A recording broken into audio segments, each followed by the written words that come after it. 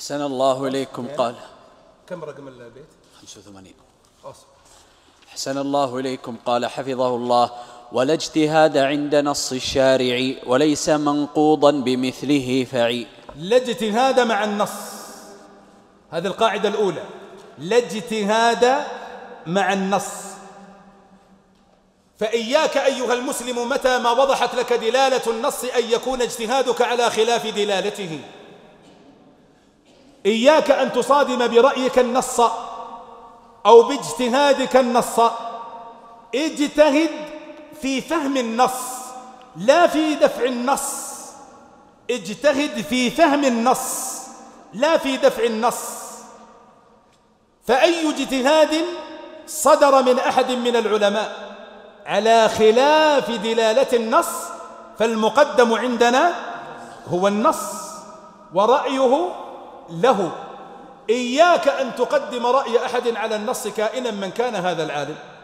فمتى ما ثبت عندك النص فلا يجوز لك أن تعارضه برأي ولا بعقل ولا باجتهاد ولا باستحسان سامج ولا بأي شيء كائنا من كان.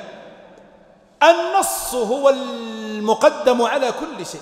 كما قال الله عز وجل يا أيها الذين آمنوا لا تقدموا بين يدي الله ورسوله. ولذلك نحن رددنا اجتهاد كثير من الصحابة ولم نقبل أقوالهم في بعض المسائل لأنها ثبتت على أنها خلاف النص. ثبتت على خلاف النص. ولم نقبل قول الإمام أبي حنيفة في نفي الولي في النكاح.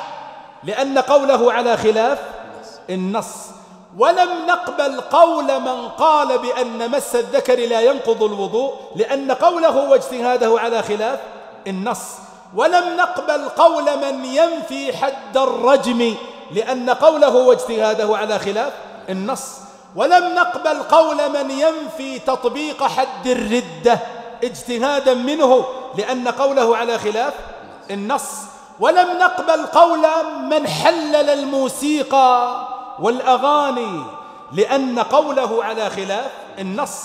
ولم نقبل قول من أجاز للمرأة كشف وجهها لأن قوله على خلاف النص. إذا لا اجتهاد مع النص وإنما الاجتهاد في دائرة النص ليفهم لا في خارج دائرته ليعارض ويدفع. نكمل بعد الصلاة إن شاء الله الحمد لله والصلاة والسلام على رسول الله. بقي علينا جمل من الأبيات مختصرة لأن أواخر الأبيات قرابة ستة أو سبعة أبيات كلها خاتمة. فبقي علينا إن شاء الله أبيات نأخذها وما تيسر من شرحها. تفضل. أحسن الله إليكم نعم. الحمد لله والصلاة والسلام على رسول الله. بقي عندنا قاعدة في الجزء الثاني من البيت. في قوله وليس منقوضا بمثله فعي هي قاعدة الاجتهاد لا ينقض بالإجتهاد. الاجتهاد الأول لا ينقض بالاجتهاد الثاني يعني. فإذا اجتهدت في جهة القبلة إذا أشكلت عليك وغلب على ظنك جهة فصليت إليها.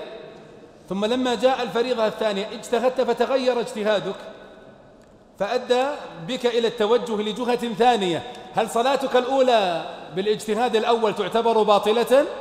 الجواب لا لأن الاجتهاد الثاني لا ينقض الاجتهاد الأول.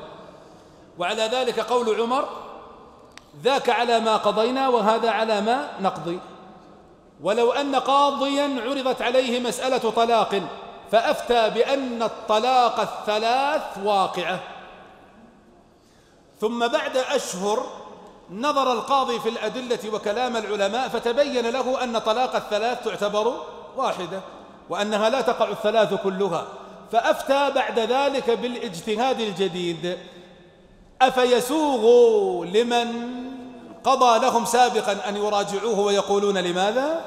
الجواب لا. ذاك على ما قضى وهذا على ما يقضي.